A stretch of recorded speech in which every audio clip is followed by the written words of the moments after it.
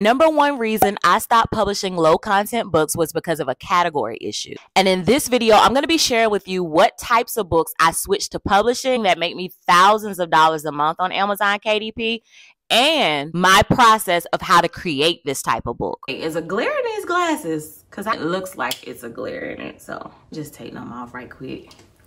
So if you follow this channel, then you probably heard me mention that although my account has now been reinstated, a little while back, my KDP account had been suspended and terminated. The reason was because of a category issue. when you publish a book on Amazon, you'll need to select a category. This is much like um, when you go to the bookstore and your book is in the appropriate section on the shelf. And since no content and low content books are generally blank or have repetitive lines inside like a journal would, then you can only base your book category off of your book cover or the theme of your book. So if you have a garden cover, then maybe your book would go in a garden category or whatever you believe the best category is. The problem, however, is that there is no exact category for low content books. Even when I switched my low content books to writing categories, I still didn't feel like the issue would be resolved. So instead of guessing and taking all those risks, I was like, you know what? I got the solution.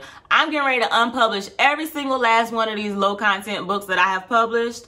And I'm only going to focus on what's called medium content books. So what are medium content books? Amazon describes medium content books as things like activity books and coloring books. Books that generally do not have repetitive content inside like the journal lines would. As a disclaimer, if you publish low content books and you love it, that's your thing, this video is not to discourage you from continuing to publish those types of books. This video is simply telling you why I stopped. I started focusing on publishing high quality coloring books. Coloring books that not only resonate with my audience, but also aligns with my values as a creator. But focusing on coloring books for me is not just about being able to provide value for my audience, but it was about a deeper decision, something that speaks to the very core of why we create. What do I love and what truly resonates with me? Welcome back to this Bible time with Toya chat. In Proverbs 4:23 it says, "Keep thy heart with all diligence, for out of it are the issues of life." So all of your decisions are determined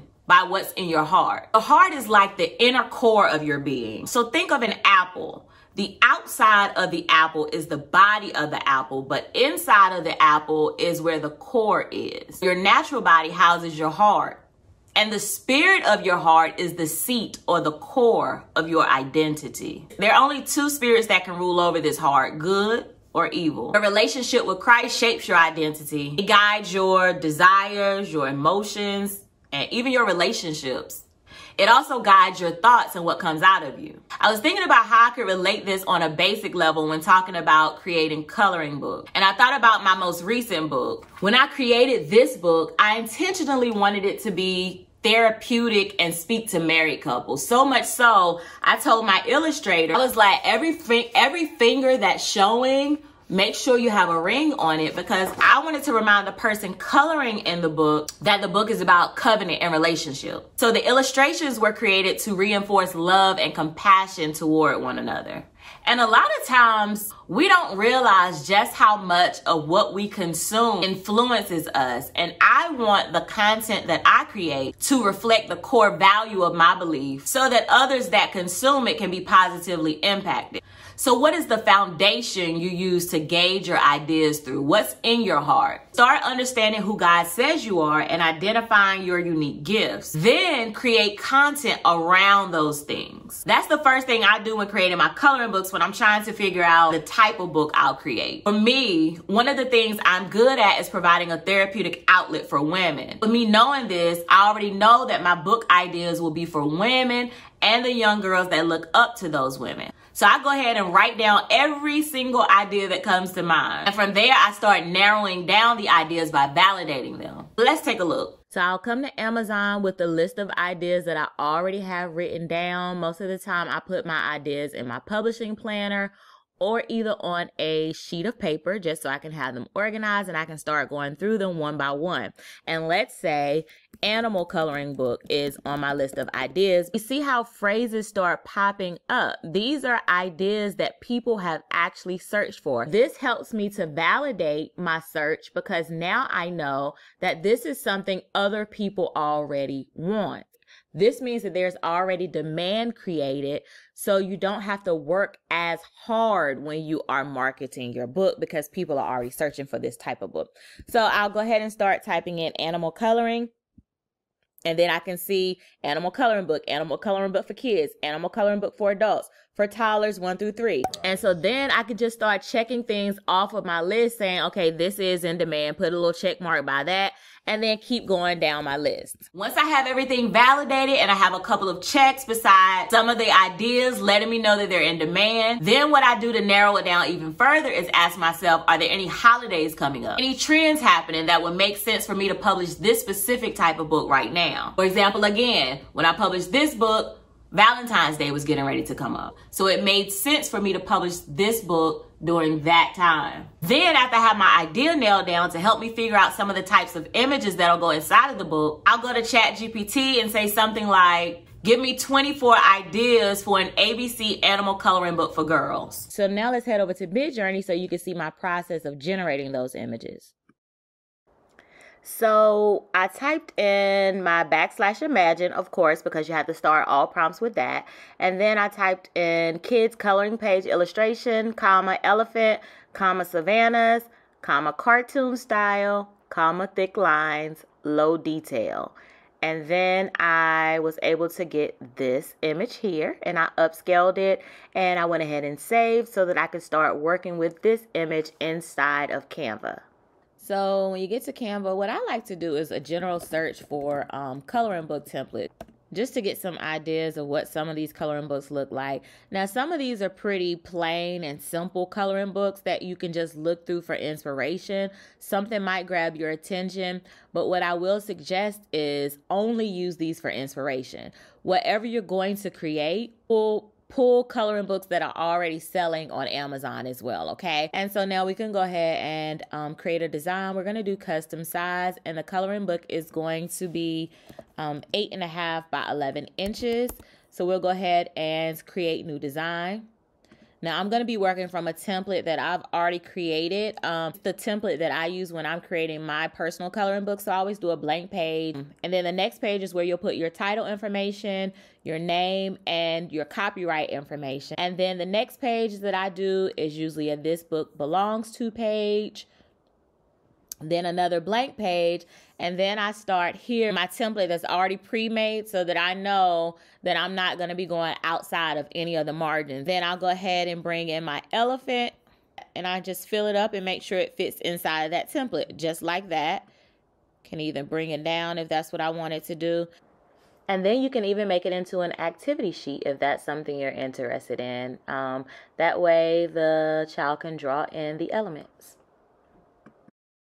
E is for elephant. So then once you have all your pages together, this would be your interior file. So you will go ahead and download that and save that as a PDF standard. For the cover, always use KDP cover calculator. I'll do paperback, the interior black and white. Go through everything according to the dimensions that I want to set and then I will go to um, calculate dimension. Now, all the links that I'm mentioning in the video, I'll actually leave those links in the description below. So this is going to give me my full cover, which is 17.372 by 11.25. So I'm just going to take those dimensions and enter that into Canva to start working on my cover. I'll go to create a new design and then I'll go ahead and enter in those those dimensions. This gives me my blank cover template. I'm gonna go ahead and um, bring in my design. I'm going to go ahead and start working on the background color. Usually I'll just pull from one of the colors that's already in the photo. If you're enjoying this video, don't forget to like and subscribe so that I know to keep putting out more content like this.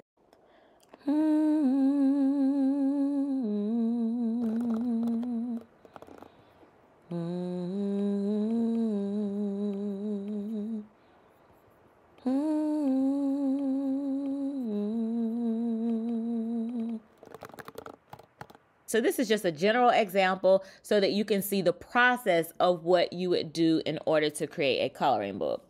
I do take a deep dive on the exact process, step by step, of how you would be able to create the coloring book in my coloring book course at bookbaguniversity.com. And if you want to see how to upload your coloring book after you save this as a PDF document, then I'll link that video for you so you can watch that next.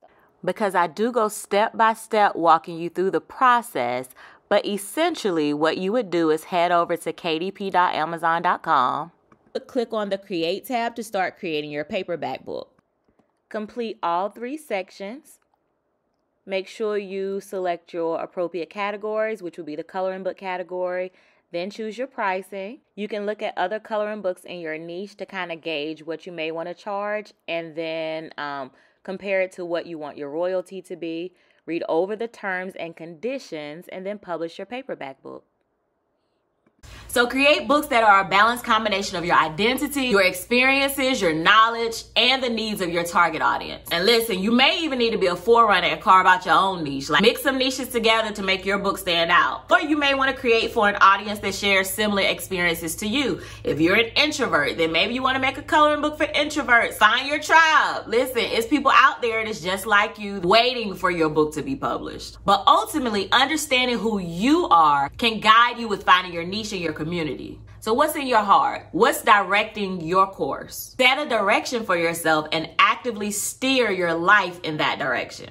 Thanks so much for liking and for sharing this video. And let me know if you'll be publishing medium content books like coloring books. Until next time, bye-bye.